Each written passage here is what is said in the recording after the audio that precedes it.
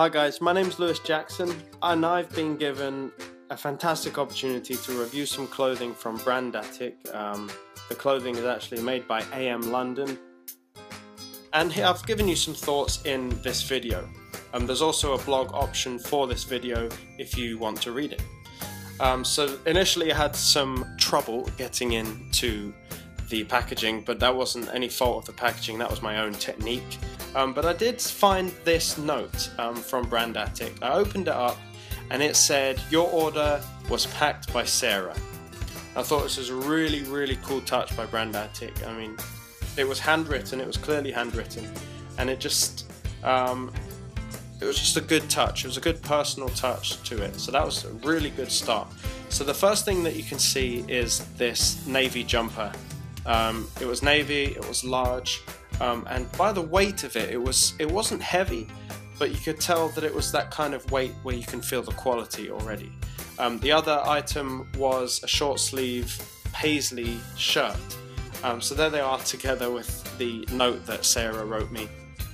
Um, but it is time to get in now. Want to get some close-ups of this while I talk through it. Now, the paisley pattern, the paisley artwork I see there was just absolutely brilliant. I did want to focus on the buttons. Now the buttons I thought were absolutely brilliant. Um, the whole quality of this shirt, before even putting it on, was very evident. Um, AM London have done a really good job at the little details, the little patterns, um, and the overall quality. Now this is a summer shirt. Um, it's very much a summer shirt. It's really, really light.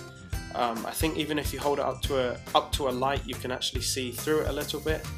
Um, I mean, it's absolutely brilliant for the for the heat. It breathes really well, and I really love the patterns that they have um, that go straight down the middle there. Um, really nice. It's under where your shirt folds over, um, and also on the corner of your shirt, the bottom right and the bottom left of the shirt. Um, also had that same pattern. I thought the whole quality of this was absolutely brilliant.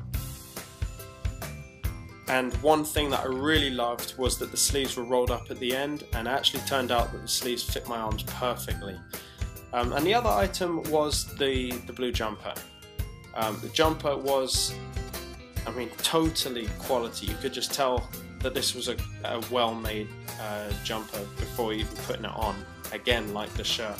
Um, the, the, details on it were perfect. I absolutely loved it, if you can't tell. Um, really like good quality jumpers, and that's what I received from this.